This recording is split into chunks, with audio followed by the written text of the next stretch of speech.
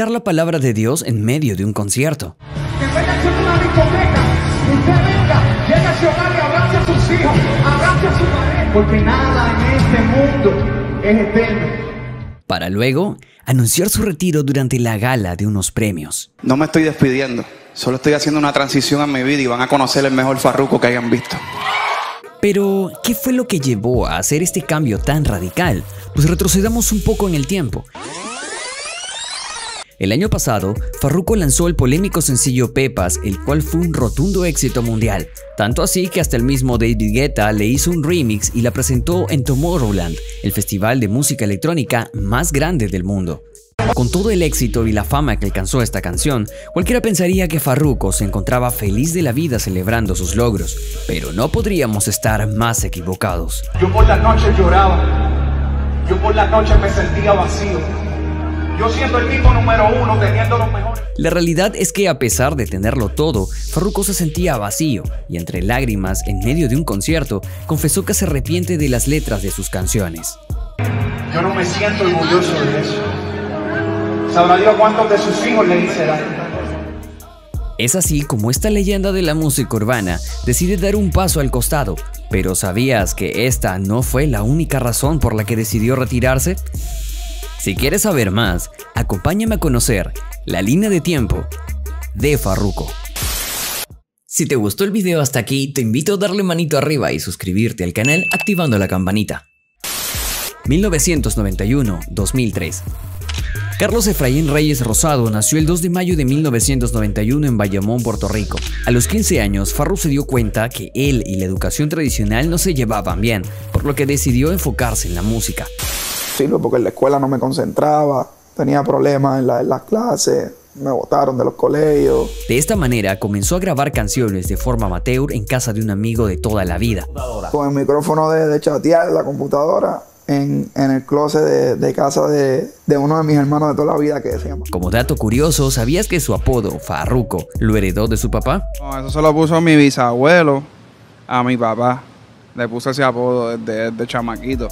Su primera canción oficial se tituló Bla Bla Bla y se estrenó en 2007 cuando Farru apenas tenía 16 años.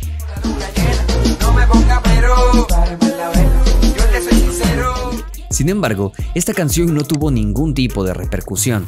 No se rindió y grabó el tema Sexo fuera del planeta, que llamó la atención del productor Alex Gárgolas, que lo introdujo de lleno en la industria.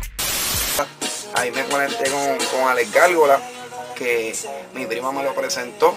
Me grabó en el intro de, los de los Brothers. Luego Gárgolas lo presentó con Don Omar y este lo apadrinó. Y a presentarle a mi nuevo artista, el talento del bloque.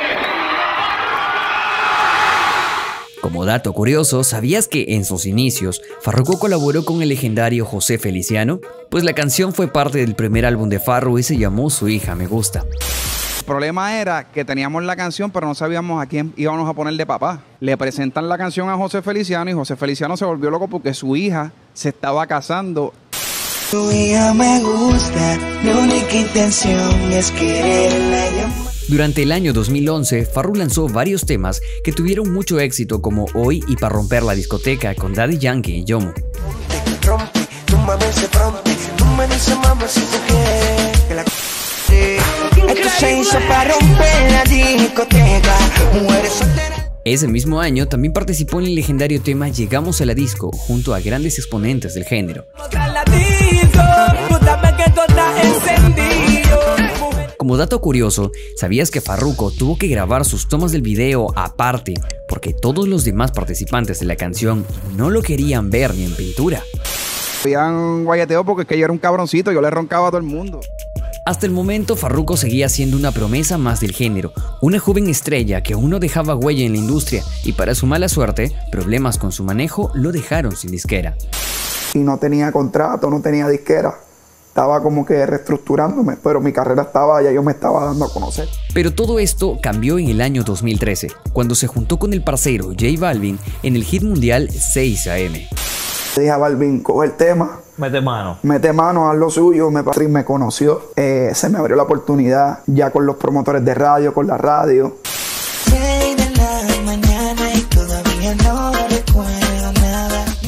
Como dato curioso, ¿sabías que durante un tiempo J Balvin no paraba de darle besos a Farruko?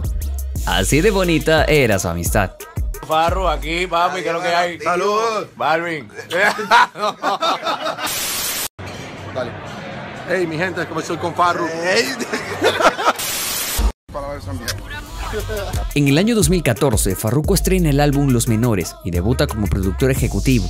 El disco cuenta con 15 canciones, la mayoría de ellas colaboraciones con artistas ya consolidados como Nicky Jam, Arcángel, Sean Paul, Jay Álvarez, Zion y Lennox y Tony Dice.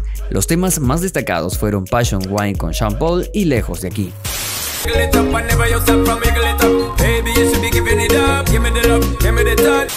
Date la ropa, vino que te copa, te llevo a París chulita sin tocar ropa. La- Año 2015-2019. Para principios del 2015, Farruko junto a su manejador Frank Miami deciden fundar la compañía discográfica Carbon Fiber Music, ya que desconfiaban de las grandes disqueras multinacionales. Ya desconfiaba de todo el mundo. Y le dije a Fran, vamos a hacerlo nosotros. ¿Qué, es- qué es lo más que podemos perder? Dinero. Bajo este sello, Farruko apadrinó y dio a conocer a muchos artistas urbanos como Alexio La Bruja, Almighty, Larry Over, entre otros. De esta manera cumplió uno de sus objetivos, ser cantante y empresario, al igual que uno de sus más grandes ídolos, Héctor el Father. Quería esa película de, de- de empresario, de jefe, de los movimientos en el negocio, ¿me entiendes? No podemos dejar de mencionar que Farruko también ha tenido guerras y tiraeras con muchos artistas del género como Coscuyuela, Arcángel y Almighty, artista que él mismo llevó al estrellato, pero este es un tema que tocaremos en otro video. Volviendo a lo nuestro, el 23 de octubre del 2015, Farruko estrenó su cuarto álbum de estudio titulado Visionary, que hasta el día de hoy sigue siendo su disco favorito por lo fresco que suena. Eh, estaba bien adelantado. Estaba, tú lo escuchas hoy y cabrón se escucha que lo grabé ayer. Las canciones más destacadas del disco fueron las siguientes.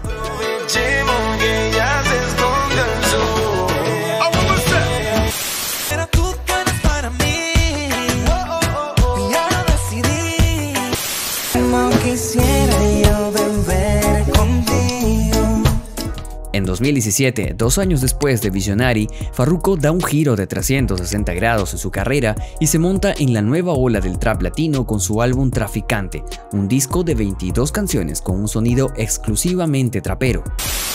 Hicimos dos temas con Bat. Es lo más riesgoso que tú puedes hacer porque la gente no lo va a entender. Enfoqué en, En lo que estaba pasando. En, lo que está, en desarrollar y navegar en esas aguas que estaban pasando. ¿Para qué? Esta fue una movida muy arriesgada, pero funcionó porque como sabemos, Farruko es un artista diferente y visionario. Prueba de ello es el tema Creepy Kush, un junte con Bad Bunny al que ni DJ Luyan le tenía fe.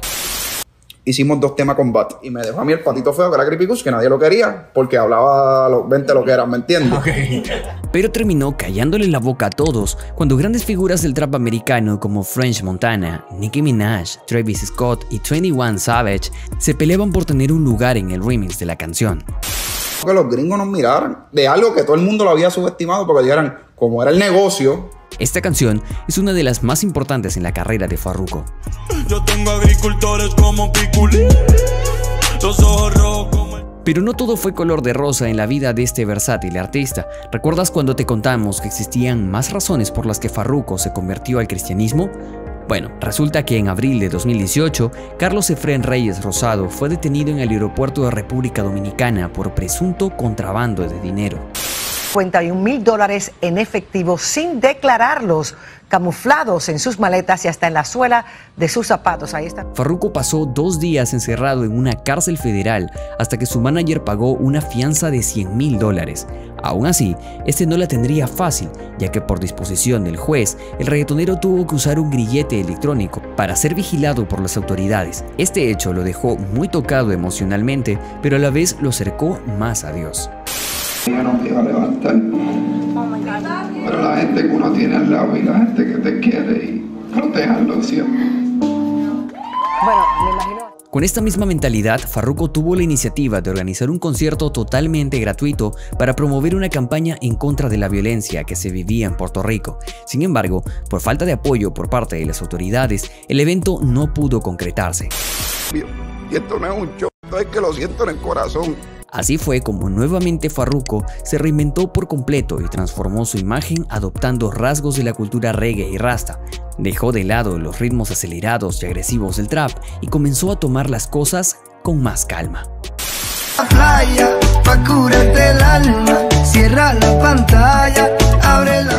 Esta fue sin lugar a dudas la canción del verano del 2019 e incluso me atrevería a decir que fue la canción del año. Además dio pie para que Farruko estrene su álbum Gangalí, que como te mencioné antes tiene un concepto más chill y playero. Las canciones destacadas del disco fueron La cartera con Bad Bunny,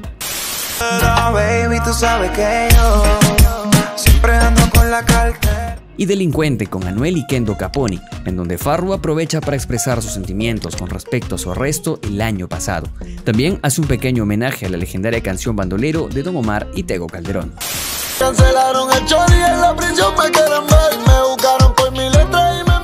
Como dato curioso, ¿sabías que el mismo Don Omar iba a ser parte del remix de esta canción?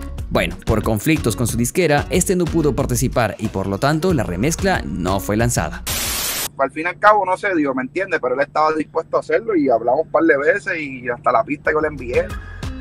Año 2020-2022. Llegó el año 2020 y en medio de una pandemia mundial, Farruko estrena el mega hit La Tóxica, primer adelanto de su próximo álbum. va la calle en busca de un al mismo tiempo, en su vida personal, el cantante atravesó un proceso de transformación interna, al igual que muchos de nosotros, debido al aislamiento por la pandemia. Farruko se dio cuenta de la banalidad de los placeres materiales. Lo tenía todo, carros de lujo, ropa cara, la casa de sus sueños, pero supo que nada de eso lo iba a salvar de la crisis. Porque a quién tú vas a impresionar, a quién tú le vas a modelar con todo eso, en un momento así. Porque en realidad vale que esté en el comida, que esté en el salud, que tener a tus seres queridos cerca. Por este motivo decidió colaborar con O'Neill Díaz en una canción cristiana. Tratando de llenar un vacío que tenemos con cosas materiales. Ese es el vacío más grande, ese es el existencial, ese solamente lo llena Dios. He mantenido una distancia y no te he dado...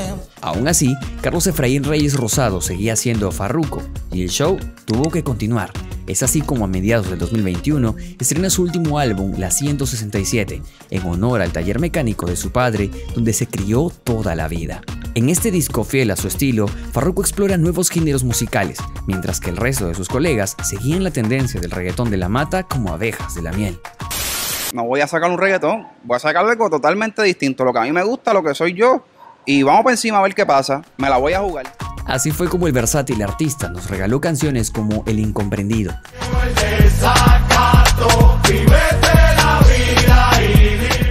Y el polémico tema llamado Pepas.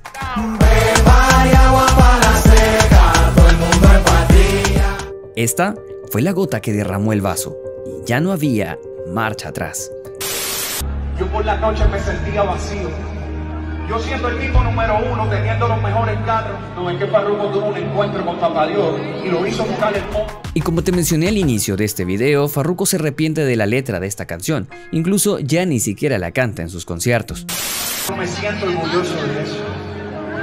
Sabrá Dios cuántos de sus hijos le hice daño. de la letra. Sumado a esto, el artista ha comenzado a predicar la palabra de Dios en sus conciertos. Sueño, pero se fue desprogramando y contaminándose con el pecado y con las cosas del mundo. Que venga a una discoteca, usted venga, llega a su hogar y abrace a sus hijos, abrace a su pareja, porque nada en este mundo es eterno. Este cambio tan radical lo ha vuelto blanco de críticas por parte de sus mismos fanáticos, pero Farruko no se quedó callado y ofreció devolver el dinero a quienes compraron sus entradas. Por otro lado, también ha recibido el apoyo de colegas como Héctor Delgado, ex Héctor del Fader, y Alejandro Mosquera, ex Almighty, con quien años atrás tuvo una guerra lirical que al día de hoy ha quedado extinta. Tipos que se odiaron en un momento dado. No estamos arreglando por un beneficio. Y hasta aquí el video de hoy. Espero que te haya gustado mucho. Déjame saber en los comentarios cuál debería ser el próximo artista en tener su línea de tiempo. No olvides darle manito a los y nos vemos en un próximo video. Cuídense mucho. Chao.